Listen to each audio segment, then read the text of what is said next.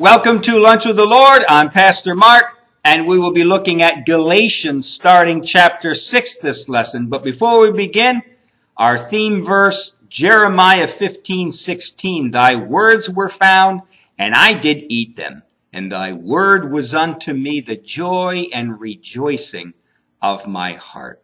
Are you feasting upon the word of God daily? Is it a joy and rejoicing in your heart?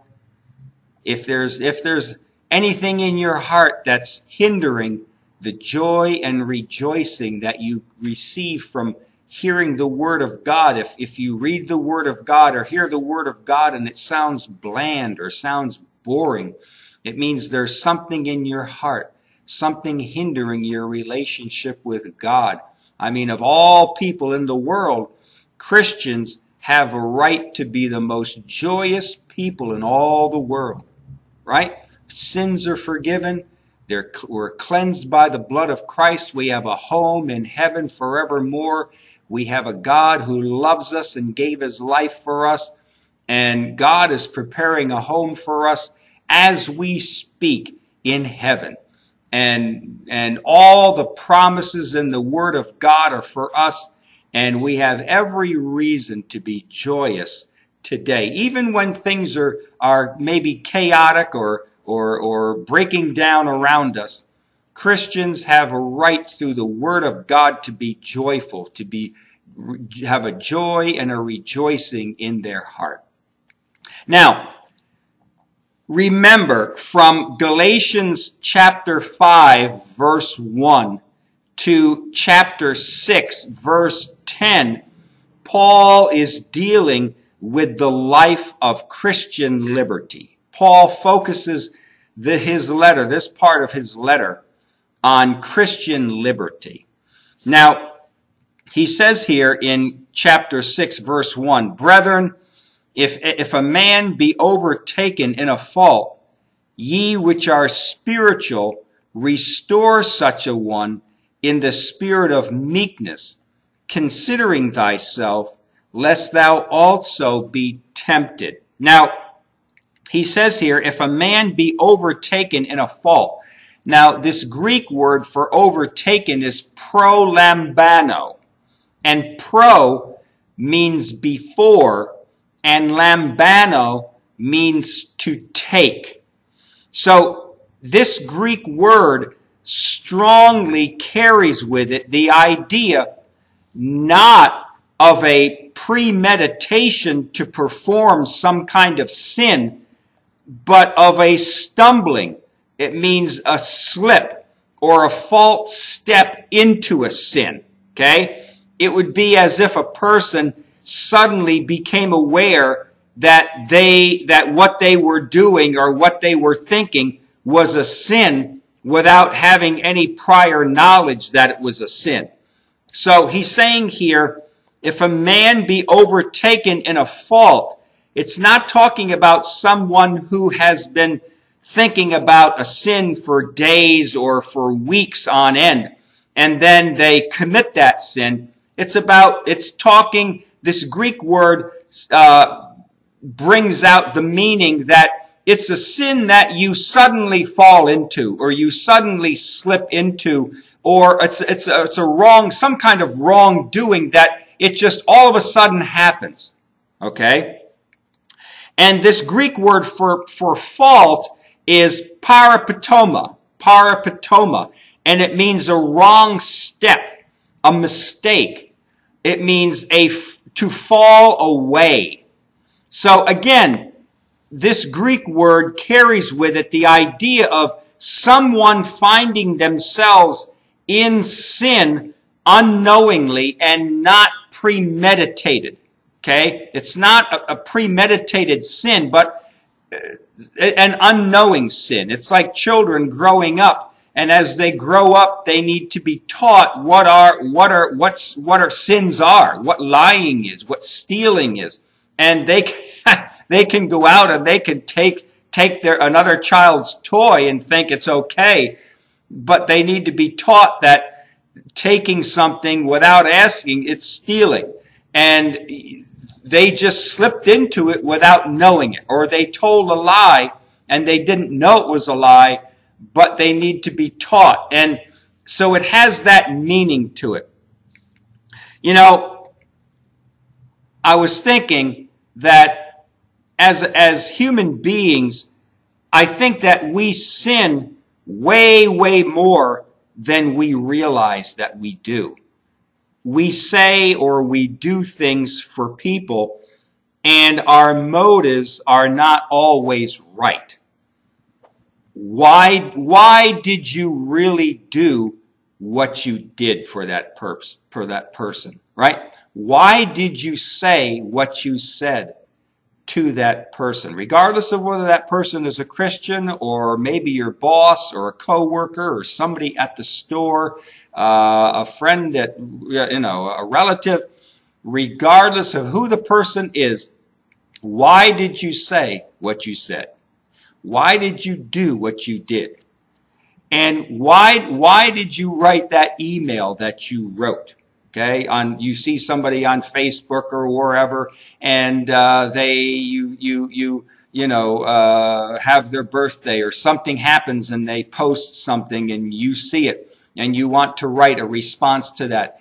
Why are you writing the response? Okay, what what what do you honestly think about that person? Okay, what do you honestly think about that person? If we know, if we, if we knew as God knows and could see as God sees, I think we would be devastated by how much we really do sin. Why did you write that letter or write that email or, or on Facebook or why did you say that? Was it because you really deep in your heart wanted something other than what you said or did? Right? What, what are our motives? You see, because that's the real issue. God can see all the way. He, he, God, God's not blind. I mean, he, you know, Satan, Satan only sees our actions. You have to remember, Satan can't read your minds. Satan does not know what you're thinking. He can project, and, and the demons can project thoughts to you and things to your life but they don't know if you're receiving those thoughts or you're receiving their projections until you act. Once you act, then they know, aha, now I know what they're thinking. But don't get the idea that Satan can read your mind or that the demons know what you're thinking. They don't. God does, but Satan doesn't. And when he starts seeing you acting in a certain way, then he knows, ah, I've got them on, I've got them on my track. Now they're walking down the road I want them to walk down, right? But you can have projections and projections and thoughts come into your mind, but all of a sudden you cast them out and you start, you start singing to God. You start uh, quoting scripture or, or, or, or praising the Lord. And he, he, and he thinks, I don't have them. I don't have them yet. Okay? And you're, what you're, he can only read your actions, but God sees the thoughts. So, again, sin goes all the way to the heart of a person. Remember Isaiah 1 verses 5 and 6? Right? The heart is deceitful above all things. Who can know it? Well, God can. God sees it. God knows your heart. He know, the Bible says he knows your thoughts afar off. It means he knows what you're going to be thinking. Who knows? Tomorrow, next week, he knows your thoughts afar off. Before you even think your thoughts, he knows they're coming. And God sees sin right at the very base, right in the very heart of who you are. And I think if we saw if how God sees and if we knew what God knows, I think we'd find out that we sin a lot more than than what we really know, than what we're aware of. Because I think I think if God opened up our hearts and if we could see ourselves as God sees us, I think we'd be devastated. I think we'd be crushed. Because we, we would have no hope. Why? God, why do I even get out of bed in the morning? What's the sense? I mean, my every step is going to be sin or everything I, you know, it's just filled. My whole life is filled with sin. I'm thinking this, I'm thinking that, and, and my motives here, my motives there. Why do I even bother thinking anymore? What's the use of it? And yet, God sees the heart. He sees the, he sees the motives behind it. And this is why we need a moment by moment relationship with God. I think it's a blessing from God that we, that we don't really know how much we sin and we don't really know how much God puts up with us in our lives. It's, it's good that we only see, uh, we only see the sins that we see, that we're aware of, that the Holy Spirit makes us aware of. And it, it's a blessing in disguise. So, um, I think, you know, that as Christians, we need to be thankful to God that he paid for all of our sins, the ones that we know about and also the ones that we don't know about. There's probably sins in your life, years and years of things you did, things you you you you thought, uh, then you had no idea they were sin, and they're long gone, and uh, just they're gone. Let them go. Don't worry about them. Uh, but God sees everything, and you know he says here, if a man be overtaken in a fault, ye which are spiritual, restore such an one in the spirit of meekness. And this is how God restores us in the spirit of meekness. But, but, uh, again, uh, that we need to check our motives. We need to have a relationship with God moment by moment and have God check the reason why. Why am I doing this? Why am I going to speak to this person? after church? Or why am I going to call this person up? Oh, I don't mean a business reason. I mean, if you got to get your roof fixed on your house, of course you have to get things done and you have to talk to your boss and people at work and all. Of course that. But I'm saying when, when you're really uh, uh, talking to uh, Christians you know, uh, family, whatever, why are you going to say what you're saying? Is it because you're trying to build yourself up? Is it for, for self-preservation? Is it for uh, uh, to make yourself look good? And and and what what is that reason? And is it or is it for the glory of God? Is it because you're honoring God with your lips and with your mind and your thoughts, and you really truly do have a heart for that person? Or is it because you're trying to get something out of this situation? All right. So he says here, you which are spiritual, restore such a one. And restore, the Greek word is katartizo. And it's in the present tense, and it means to mend, to repair. And the present tense here means that we are continually, present tense, over and over again, to be available to help mend someone's life, to exercise patience right? Like Jesus, like, like it says in the Gospels, if a man sin uh, 70 times, right?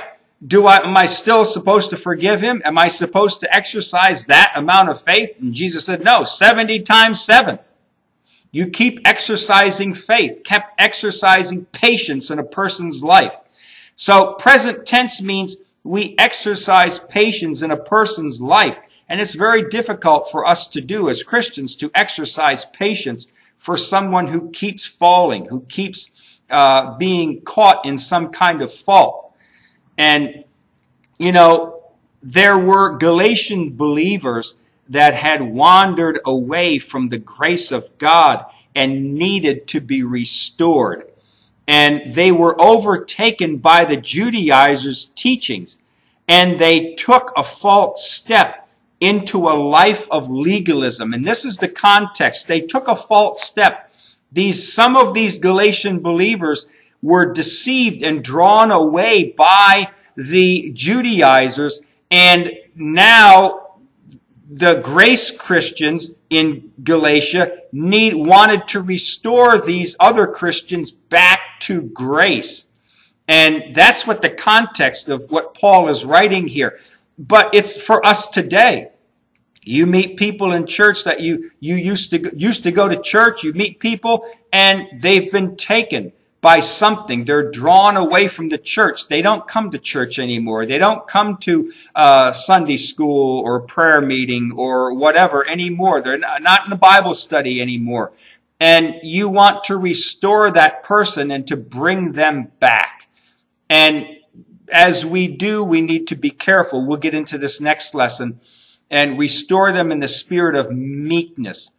But here, as we, uh, we're, we're around people all the time that, that have fallen away from church, fallen away from God for whatever reason. The enemy has come in and has tempted them with some kind of little delight and they took it and now they're gone. They don't come to church anymore. They don't come to the Bible study anymore. They don't want to talk to you anymore. They want to live their own lives in, in this new pursuit and you're trying to restore them and bring them back, mend and heal them. And, but it takes patience. It's something that is, you need, you need patience to do that. All right?